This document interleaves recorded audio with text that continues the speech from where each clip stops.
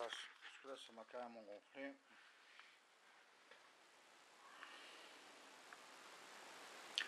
Bon, il s'aborde ma carte mémoire. Mais il y a minutes qui manque dans la carte. Donc euh, ça veut dire que la caméra est film. Donc c'est des ordures de chiens numériques sur l'ordi qui cassent les couilles. Des fils de pute quoi.